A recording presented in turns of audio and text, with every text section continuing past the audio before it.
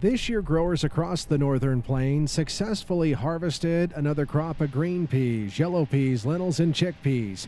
And despite a collapse in market prices brought on mainly because of ongoing trade disputes with China and India, U.S. farmers are still very much interested in raising pulse crops. I think the first thing was people are seeing some of the economic returns, and as they look past that and get a little deeper, they can see there's some agronomic benefits to raising pulses as well that complement their whole farming operation and not just their checkbook.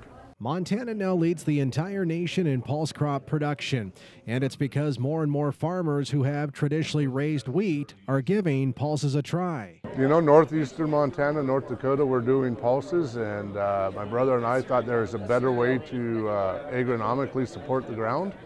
We think, figured there had to be something to better the soils and not do a wheat fallow rotation. And so we started experimenting with it. We didn't have a lot of experience, but we started throwing them in, and here we are 20 years later with quite a few acres of them now.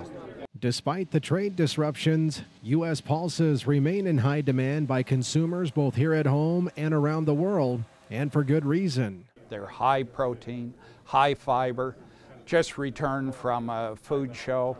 Everybody likes their snack foods, but they want healthy snack foods peas and lentils, garbs, chickpeas can be part of that solution. So uh, really, I think long term, the outlook for pulse crops is just great. And food processing companies agree. That's why they're investing significant capital to build the infrastructure needed to support emerging commodities like pulses. You know, Columbia's we're investing a lot of money in the state of Montana with a with a non-GMO canola crushing plant in Great Falls. We're investing a lot of money in Plentywood, building another processing facility, because people are starting to grow these things more and more. You know, because we're everybody's looking for something to make money instead of you know capturing spring wheat, winter wheat, durum, you know, corn, soybeans, whatever.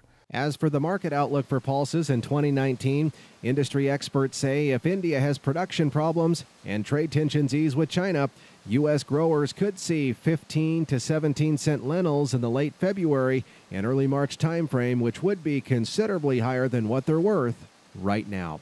In Billings, Russell Nemetz, MTN News.